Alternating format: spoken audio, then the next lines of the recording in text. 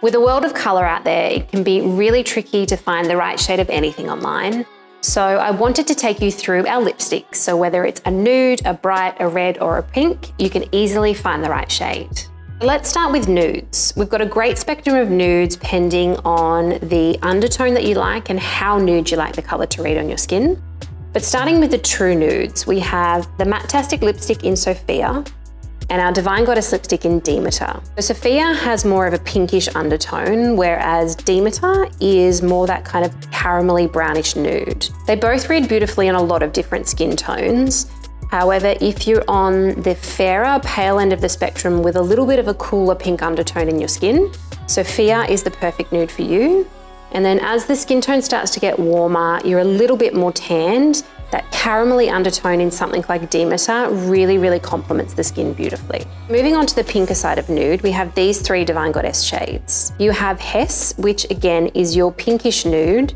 So it's great for a, a cooler, or more kind of neutral undertone and fair skin, but it does have a really subtle sparkle through it. So it really helps to brighten the complexion.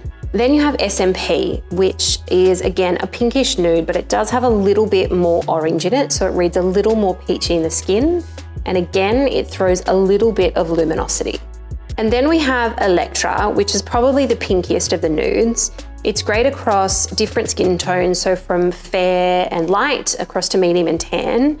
Um, but it really does help to emulate that kind of natural pink in the lip and just really bring it to life a little more. Then moving into more of your rose shades. So these are colors that are gonna add a little bit more life to your both your lips and the complexion. First up in Mattastic, we have Grace, which is a really universal shade and suits so many different skin tones. So this is another one that's really gonna help to emulate that natural pink in your lip, but just deepen it slightly and add more life to the face. Then you have Olympia in Divine Goddess, which is a deeper rose. So this is where you're starting to add more color to the lip and brighten the lip a little but it's that kind of true rose undertone. Next in the Divine Goddess, we have Hera, which is a rose with a bit more of a blue undertone. And this one does have a really subtle shimmer through it, so it can really help to, again, smooth and add life to the lips. And lastly in the rose, we have Andromeda, which is more on the peachy side of rose. So this does have a bit more orange and brown in it. Uh, but it's a rose that's going to add colour to your lips and it's actually really great for kind of a medium to tan and olive skin tone. So now looking at a couple of colours that have a more brownish peachy undertone. We have Matte Mattastic lipstick in Ava, which is a kind of a beautiful true peach. So on a fairer skin tone, this is going to read like a peach and actually add colour to the lips. However, on more of a tanned and darker skin tone, this is a beautiful peachy nude. Then next, we have the Matte Mattastic lipstick in Lauren, which is a beautiful kind of medium brown. So there's not a lot of pink in this one. It does have a little slight rosy undertone, but it reads more brown on the skin. So this can be a great neutral or nude for medium to deeper skin tones. And then we have the Mattastic Rita, which is a gorgeous terracotta kind of brick red. It's not particularly bright, it's still in a bit of a medium depth of color, uh, but it throws those kind of terracotta brick undertones on most skin tones.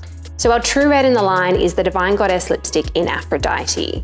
This is a beautifully bright, saturated and vivid red that has a blue undertone and will suit all skin tones. Then we have the Mattastic lipstick in Veronica, which is another bright, saturated and vivid red. However, it throws a little bit more of a pink undertone as opposed to a blue.